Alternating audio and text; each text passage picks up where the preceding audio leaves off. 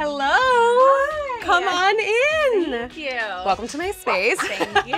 so I'm throwing a backyard barbecue. I've never done it before. We've got this. I'm super nervous. You're the expert. well, we will figure it all out. I just have a grill and space and that's it. So I have think- so many ideas. We can make this incredible. We're doing a kebab station. Ooh, perfect. Genius, right? You Okay. can do any kind of vegetables you want. Today we're doing peppers and onions. And it's so pretty. for the beef, we're just gonna marinate it in this Kikkoman teriyaki marinade and sauce. My favorite. It's, so good. The best. Perfect for this. And we just put this and the beef in a plastic bag and marinate it. So easy. Everyone can DIY their own kebab and Oh, then that's so play fun. grill master. So I figure as the sun's going down, we just do a little s'mores bar. This is so perfect and so easy. Beyond easy. It's the name of the game, and it's you can do this over an open fire, or if you don't have a fire pit, you could do it on the stove, inside, whatever you want. How gorgeous is this table?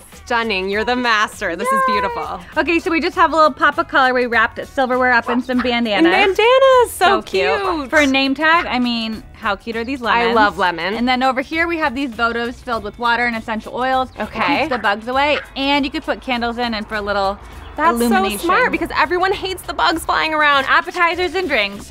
Very important. So we just have some really inexpensive little pails with our favorite snacks in them. And then over here we have drinks. We have all sorts of infused waters and lemonades. You can spike them with some booze if you want, or just leave yeah. them plain and then set it and forget it. So they can do it themselves. That's awesome and it's gorgeous. yeah.